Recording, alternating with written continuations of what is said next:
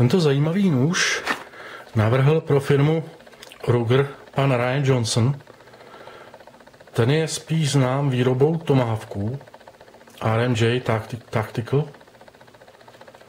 To zkrátku jste už určitě někde viděli, to RMJ. Mezi znalci velmi uznávaný výrobce handmade tomahawků s pomocí nejmodernější vědy a techniky. To je zajímavý nůž. Mě oslovil hned, když jsem ho přidával na stránky. Zajímavý design, zajímavá barevná kombinace.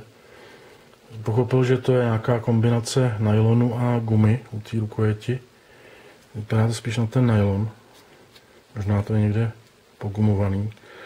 Hezký jsou ty velké šrouby. Nepochybně demontovatelný.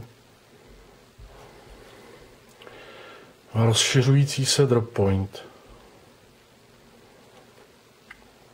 Účel lovecký, tábornický, obecně do přírody.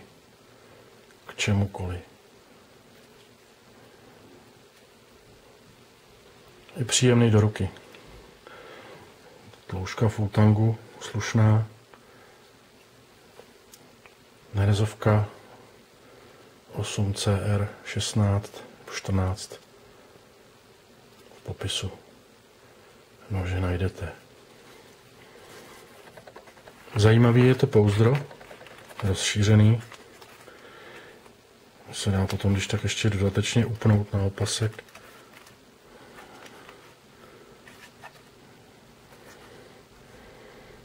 Atypický s těma ušima.